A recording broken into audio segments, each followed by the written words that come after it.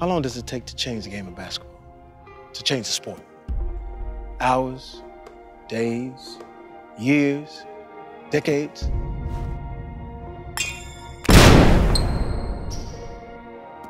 How about 0.4 seconds?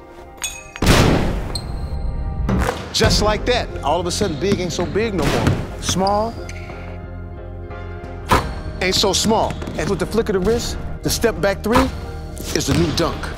Follow through is the new poster. Range is the new hang time. From the elbow to the rim, the threat now comes from everywhere. It's a new age for the game, a new era of champion. In the world, change takes time. In the universe, it takes eons. In this game, it only takes a second or less.